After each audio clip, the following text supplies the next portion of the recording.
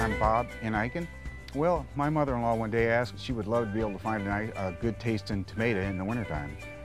And from there it kind of snowballed. And we found an old greenhouse and we started uh, growing hundreds of different varieties to try to find a, a variety that would work. We'll change up a variety or we will uh, we sell heirlooms uh, is another variety that we sell and people are always going back to the, the trust, the, the variety that we grow because we can't find anything better. It's, it's just an awesome tasting tomato.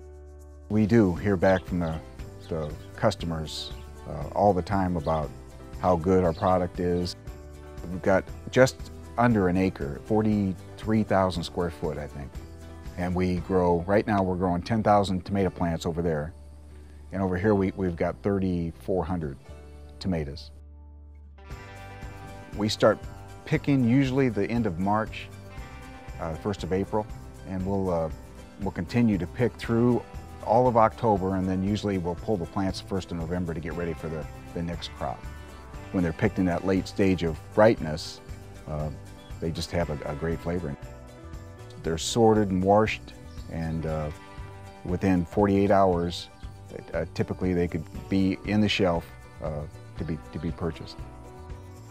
Hy-Vee is just an awesome company to work with. They're one of the few that'll actually go to the local uh, farmer. They've been great all these years. We'll give extras to the stores and they'll put the, the samplers out there. If we can get people to try them, uh, it's a given. They'll buy them. Their, their eyes light up and you know you got a customer for life once, uh, once they try our product.